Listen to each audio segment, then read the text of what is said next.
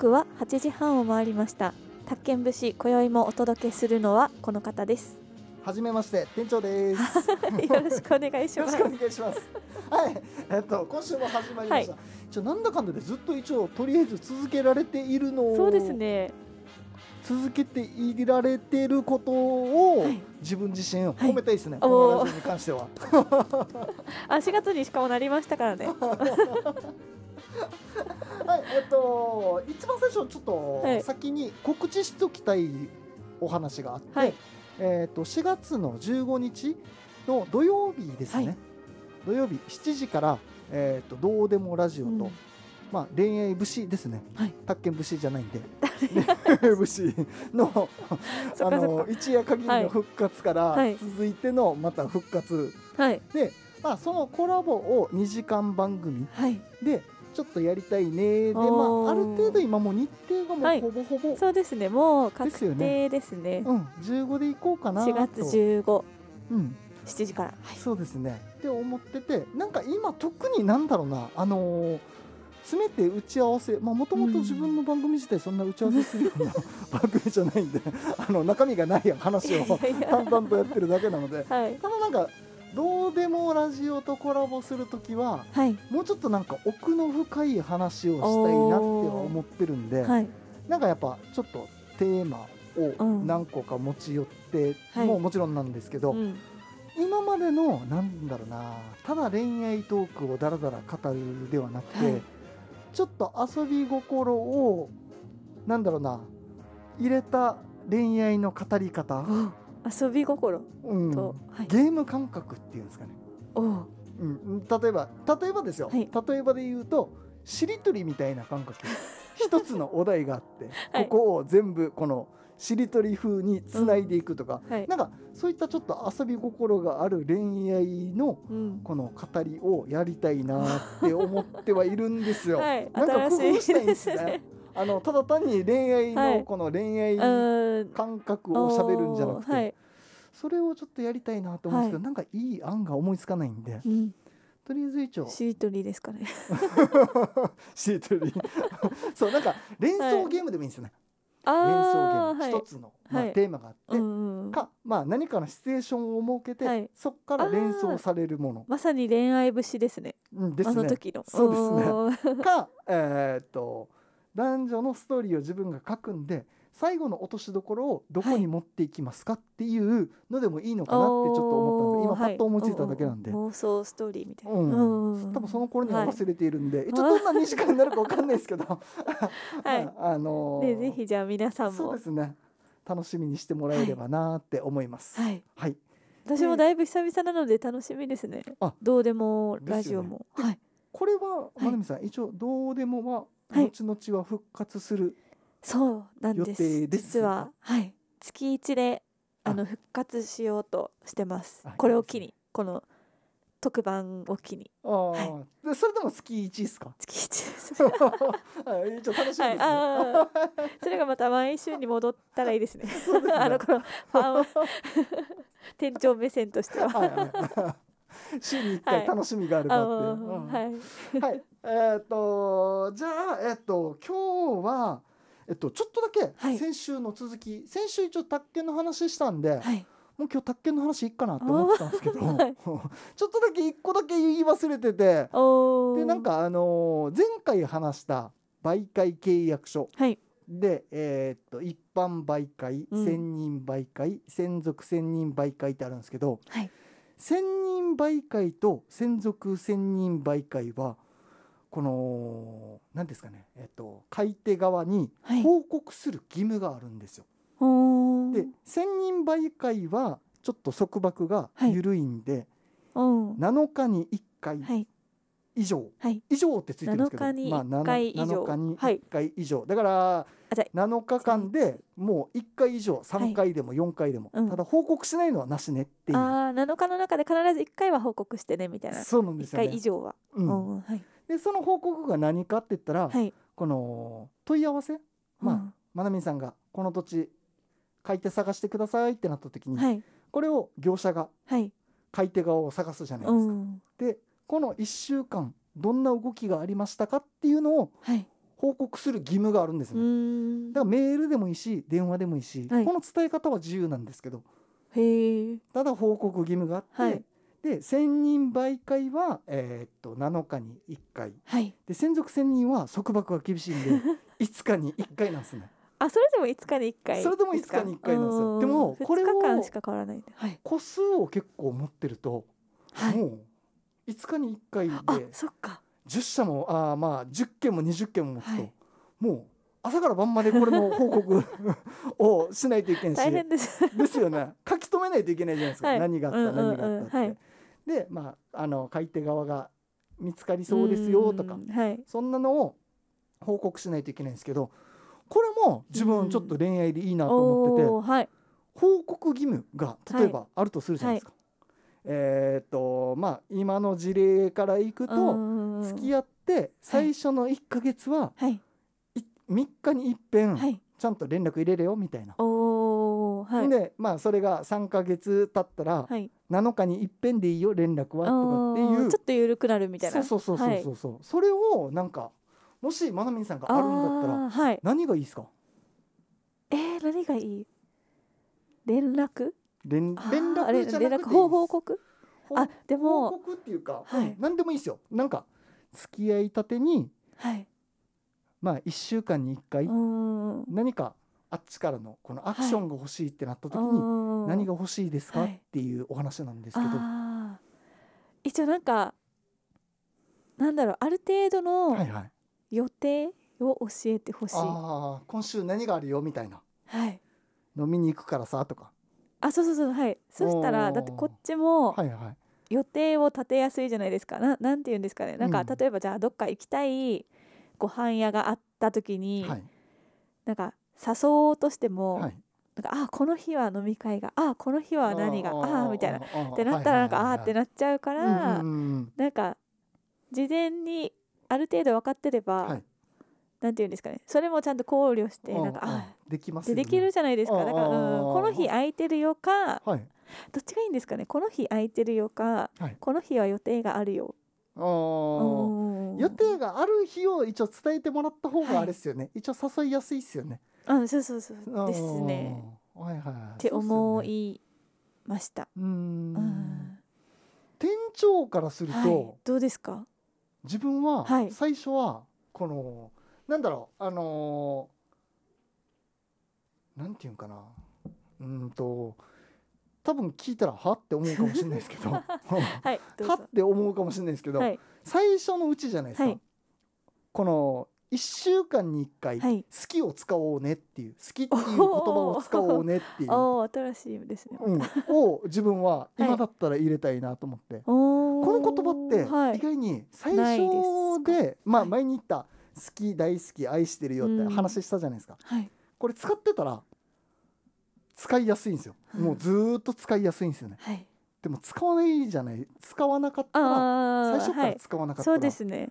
この言葉を投げかけたい時に投げかけにくくなるんですね、照り臭くなるんですよ、ああはい。だ相手にもよるんですけど、うんうんうん。そういうなんだろうちょっと茶番できるようなこの男女の関係だったら、好きを多用しても別うんにうん。何とも思わないけど、なんかちょっと堅苦しい大人の付き合いはい。をすると、うん。あんまりこの好きっていう言葉を使ってること自体がちょっと変な感じそうみたいうちょっと時代遅れじゃないみたいな。あいつまでこんなままことしてるのうんみたいな感じになりそうなんでそこはなんかある程度最初最初だからこそきっちりこのー言葉使う言葉をまあ好きじゃなくてもいいんですけど、はい。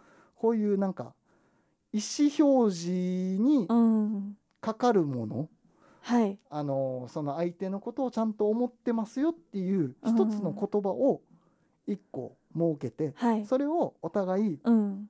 1週間に1回はい。どっかのタイミングで使おうね。タイミング使うタイミングは自由なんですね、うん。ただこの限られた7日間の中で1回は使おうねうん。だから1回以上使うのはいいんですよ、はい。100回使おうが1000回使おうが別にいいんですけど、最低でも1回は使おうね。はい。でこれを将来もし結婚してでずーっと将来共にするパートナーだったら、うん。後と長い目で見ると、うんうん。この言葉ってもう最初からずーっと使ってきてる言葉だから、うん。馴染みがあるじゃないですか、はいで照れもないんですよねそれについて、うんうんうんああそそれがいいかなって自分思った。最初って大事ですよね。最初大事です。ももうここでなんか形が決まるじゃないですか。はい。最初で。慣れちゃうと。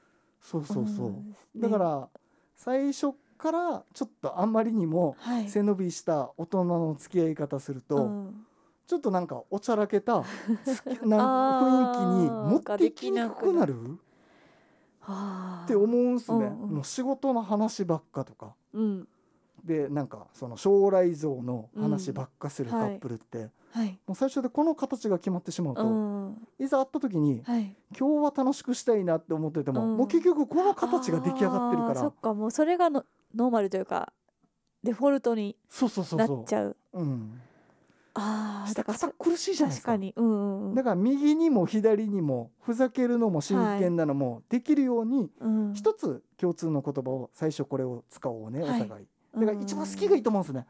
好きをいっぱい使える二人の関係って。うんうん。なんかふざけるのもできるしはい。真面目な話もしやすい雰囲気を作れるのかなって思ったんですよ。はい。どんなかなと思って。自分はだから今だったらそれかなって思いました。使いにくいじゃないですか。確かに。でむしろ今の年になってくるとなおさら使いにくいんですよ、もうあまり出てこないですね、うんうんうん。20代の時なんて、もうひたすらあのーはい。なんだろう好きになってもらうことを 考えてるから、もう好きだよとか、うん。結婚しようとかうん。連連発してましたけど今だったら絶対無理ですから、ね、いやなんかその言葉はもいやっぱそのあ年齢に合わせていっぱはい。い使いますけど、うん。年齢を重ねるとまた言葉の使い方が変わってくるんで、はい、それって言葉に重みを感じてるからですか？じゃなくてうん。ただ単に使えなくなる。感じですあかーなんだろうな。もうなんていうんですかね。恥ずかしいっていうんですか？わかります？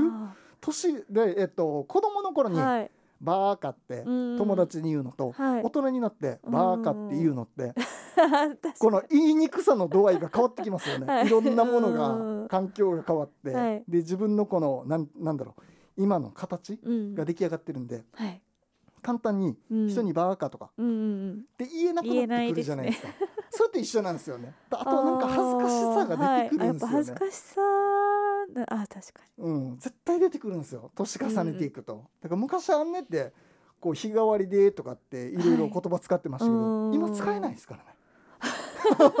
今使おうもんなららそこに責任を感じるし恥もあるし、はい。なんかもうこの年からこの言葉使うのもなとか、うん。この言葉言った以上ははい。ここまで責任を負わないとなとか、うん。なんかいろんな背景を確かに。感じるんですよ。はいそうでなんか言葉になんか責任がどうこうっていう人はいますよねたまに、うん。前ってテレビかなんかでもやってたんですけど。うでん。あると思うんですよね。なんかただ単に好きだよって言ってても、はい。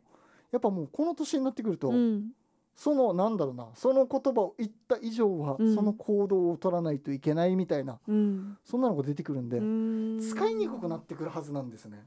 だから付き合った時に付き合ってはい。好きをいっぱい使うのは、うん。まあ多分自由だと思うんで、うん。最初のうちでこれをいっぱい使おうねからのスタートの恋愛の方がはい。綺麗かなっうんて思ってですね。これはじゃあ最初のうちっていうのはちなみにどれくらい最初？どれぐらいなんですかね？まなみさんあの付き合って、はい。この相手に何だろうな、うーんと素を出せるっていうんですかね。うん多分人にもよると思うんですけどあーあ,、る程度自分がさらけ出せる期間ってはい。だいたいどれぐらいあればできそうですか？まあ人にもよると思います、えーちょっとそれはちょっと難しいかな。自分1年ぐらいなんですよ大体。おでー付き合いたては大体まあ昔ですけど、はい。付き合いたてはうん。大体何かしら毎日はい会う努力をしてたんで会う回数が多かったんですね、はい、うんうんうん。だから大体1年ぐらいではもう全部さらけ出してるかなっていうイイメージがあったんで、はい、今はちょっとわかんないです。今はもうなんかえーどうなんだろいろいろうあるからはい。どうなのかなって思うんですけど。でも1年、はい。例えば週1回1年間会い続けても、はい。結構な時間一緒にいるじゃないですか。うんですね。うん、ってなると、はい。なんかお互いの、うん、を出し切れる。なんなんだろうな。うん。付き合ってると最初の頃って、はい。はい。男性は特にそうだと思うんですけど、うん。かっこよく見せたがるんですよ。背伸びしたがるんですよ。よ自分ははい。なんかこれもできてとかう、んうんうん。で気遣いもできてとかうん。そういうのが出てくるはずなんで,、はい。でそれをなんかだんだん慣れてくると、うん。ボロがいっぱい出るんでそれがちょうど1年後ぐらいかなみたいな、えあーでも一応1年そうですねそういった意味ではね大体やっぱり1年がなんかそういう分け分かれ目になったりするのかなって感じはしますよね。ですよね、うんとか半半年。半年。まあだからそこもちょっと2人の度合いにはよるんですけど。そうですね。毎日一緒にいればうん。もちろん早いんですけど、まあでもなんか標準的に考えて週1回会うってなれば大大体1年ぐらい。それぐらいになればもうある程度素が出し切れるかはい、なって思います。うん。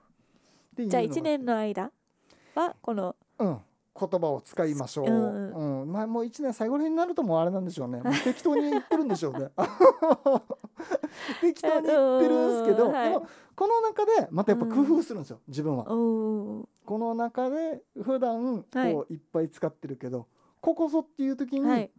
そこに文章に書いたりとか、こまあ、手紙に書いたりとか、はい。うん、それをちょっとアレンジを。そうそうそうアレンジを使加えて。うん。でまたさらに好きになってもらおうってはい。常に考える人なんで、そこをアレンジ加えながらやっていけばなんかあんまりなんですかねうんなあなあにならない。なあなあにならないようにしないといけないんですよね。難しいことなんですけど。それは大変ですよね。なかなか多分確かに。うん。だから女性は常に、はい。なんていうんかな。前もちょっとお話ししたことがあると思うんですけど、はい。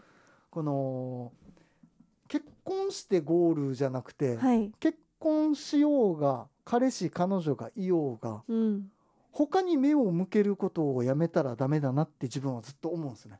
女性が？あまあ女性も女性も男性も？うん。ああ、まはい。男性はそこまでいいのかなと思うんですけど、うん女性はやっぱり外に出ることをやめると、ああ言ってましたね。ううん。おなんはい。なんていうかな。ちょなん表現の仕方がちょっと難しいですけど、うん。やっぱりちょっと落ちてくるっていうか、はい。魅力がやっぱ低下する。うんはい。人間そうだと思うんですよ、うんうんうん。人前に出るからこそ魅力を向上させようって思うはずなんで、うんだからやっぱこうお付き合いしても他に目を向けながら、うん。まあその範囲内なんですかねこのグレーゾーンを 思いっきり自分見て超えたらダメなんでそこのこの何ですかグレーゾーンにならない範囲内で、うんやっぱあこの人すごく綺麗だなとか、うん。この男性すごくいいなとかってはい。思うのはいいと思うんですよ。うんでそれを思うことによって、はい。なんかもっと自分を磨こうっていうか、うんこの人の前でちゃんと自分っていうものはこうだよって見せたいから化はい。粧するし、うん。で男性だったらそれに対して優しく振る舞うしとかって出てくると思うんですね。はい。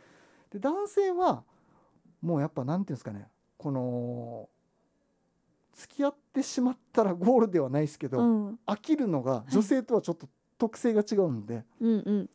付き合っていけばいくほどはい。飽きていく方向に走走っちゃうんですね。はい。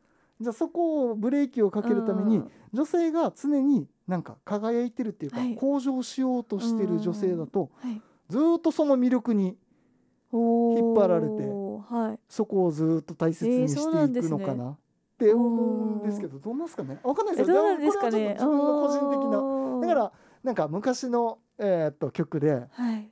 このなあなん何の曲だったかな？自分はずっと綺麗でいたいから、うんこうなんかいい服とかそういうのも買っていってねみたいな歌詞があったと思うんですけど何の曲だったか全然覚えてないんですけど。でもまさにそうなんですよね。はい。男性をこの人がずっと自分のことを好きでいるためにははい。自分はこの今の綺麗さを維持するためにうん私にこうどんどんまあなんていうか貢ぐって言ったらちょっと表現がおかしいですけど、一緒なんあうん、っていうのがあるんで、い。なんかやっぱそこは、うん、って思います。あ。うん。やっぱ女性は女性で付き合ってゴールじゃなくてまあちょっとなんかそこのよそにも目を向向けつつ、うん。自分のこの美の意識をうん。衰えさせない、はい。それで今のこの横にいる男の人をうん。釘付けにする。はい。このお互いの意識は多分重要かなって自分は思うんですけどね。あどんななんですかね。男性もだからそうなんですよ。同じなんですよ。付き合って終わりではないんで、ー。やっぱり長く好きでいてほしいからはい。こうなんかいろいろ工夫するんですよね、うんうんうんはい。違うところ連れて行って、うんで一緒にこの感動したりとか、うん楽しんだりって。それで諦めることはないんですか？あもう無理だみたいな。え自分の場合はないですね。ないですか？自分の場合はないですね。ここをどう攻略するかが楽しいですよ。ねあーあーなるほど。うん、だあじゃああこれやってみたけどあれそれでも振り向かないなみたいな。うん、いっぱいあります。だこの攻略本はいっぱい書いてるんですよ頭の中にに。はい。でこのケースでここやったらうん。滑るよとか、このケースでここやると 引かれるよとか、はい、うん。っていうのがいろいろ攻略本、はい。頭の中の攻略本があって、うん。やっぱそれをいろいろと工夫してうん。でこの場合こうだなとあとやっぱ女性のこの、うん。みんな同じ人じゃないじゃないですか。うん。だから人によって変えるんですね。あまあまあいろんな人がいるんで、もう全員同じ人じゃないから、はい。この喜ぶこのスイッチスイッチっていう表現もおかしいかな喜ぶうん。この感覚が全然違うから、うん。前の彼女はここで喜んでくれたけど今の彼女はここで喜ばないんだってなった時にあこの時にこの人どんなやったら喜ぶんだろうって思ってそこからまたこの人にはまっていくんーすごいでですすね。ねこれをずーっと。や やってきてでやっぱだんだんだんだんそれを繰り返していくと、相手が喜ぶのとうん。嫌うのが分かってくるんですよね。良良かれって思ってもはい、嫌がる人っていっぱいいるじゃないですか。そうですよね、うん。でここは NG なんだなって思ったら、うん。ここは触れないようにうん。頭の中にちゃんとインプットするんですね。はい。でここが NG だからうん。それから3歩ぐらいずれたうん。この方法でやってみてどうかなっていうのをひたすら試し続けるんですね。はい。何やってるんだって話ですよね。すごいですね。うんでも でも喜ばす喜ばすっていうかやっぱ一緒にいて楽しいなって思っってほしいんですよ。はい。だから、うん、その努力を。ほデート一つにしてもうはい。映画同じ映画を見に行くにしてもうん。この行くまでのはい。このなんか道のりだったりとかうん。寄るところだったりとかとあの車の中の会話だったりとかっていうのはん。もう常にアレンジアレンジ。同じことを同じルートを走ってるけどこの同じルートを走りながらうん前回と同じようなこのストーリーにしたくないんで、うんどうアレンジしてこのタイミングで喜んでもらおうっていうのをいろいろ工夫するんですね。それをやってきたんですよ。そうあ結構話しましたね。やっぱ話すんだな。そうあの、はい。あるんですよ。えっ、と先々週ですかね。はい。モーニングエイトで、はい。えーっそとそうこれを今日いっぱい話そうと思ったら何の話をしてるんだって思ったんですけど。そう距離感を話してたんですね、はい。距離感の話。この男女の距離感。はい。でマナミンさん的にあまあ、うん。だからやっぱいろいろ聞きたかったなと思ったのは、はい。女性が男性まあ女性から見るうん。男性との距離感ってはい。どうなんだろうなっていうのをはい。めちゃくちゃ気になったんですね。例えばあまあえー、とちょっといいなってうん。まなみさんが、ーはい。もうこの顔とか雰囲気うん。とかただ性格は分かんないですよ、はい。中身的なものはみ全然み分かんない。中身わかんない。見た目だけ。見た目だけ。はい。見た目だけうん。この人自分のこのストライクゾーンの枠枠の中に入って感るなっていう人がいるじゃないですか、この人との最初の距離感ってうん。どれぐらいの感じがいいですか、あまあちょっとえーざっくりすぎて難しいかな。なんだろうな。えーっと例えばですけど、はい。い、いなって思うってんてでどこまで許しきれるかなんですよね、どこまで許しきれるか？質問攻め。はい。えー、とどこに住んでるあのー。いくつなの？とか、は何が好きなの？とかうんの質問あ攻め。ー質問攻めはちょっと怖いですね。は嫌ですよね。じゃあ番号はどんなんですか、電話番番号。号まあ今で言うと LINE 交換とかですあね。ーでも私がいいなって思ってるってことですよね。うん、あでもそれは中身を知らないんですよ。そっか中身知らないのうん。か、だからもう初対面の距離感なんですね。ああそこの詰め寄り方いつも自分でもちょっとわかん考えるんですよね。そうですね。中身全くわからなくて、じゃあ初対面でうん。ちょっと話すくらいですか？うん。話もしない、どどれぐらいの距離感がいいですか？だからもうえーパッて見ていいなって思うじゃないですか。うん。でそれで相手かはら話しかけてきて、はい。ガーって喋るかうん。それともなんかちょっとだけ、うん。あ初めましてぐらいではい。去っていく感じがいいのか。でもそれってその人のあれが見えないじゃないですか。そうですね。あでもそれこそ昨日行ったスタバの店員さんが爽やかお兄さんで,、でその人のいい感じ。でももう絶対性格は分かんないじゃないですか一応、もうレジで会っただけで、はいはい。あでもこの人雰囲気いい感じで、はい。なんかニコニコしてて、はい。で一応私にちょっと話しかけてはくれたんですよ。それくらいだったら一応大丈夫だった。ああなんていうんですかね。なんかなんていうんですかうんこのただ単にメニューの話だけじゃないけどはい。ちょっと雑談が入ってたってことです。その中に。若干はい。それは OK ああそれぐらい。あ、ね、はいえっ、とこの続きはまた来週。さようなら。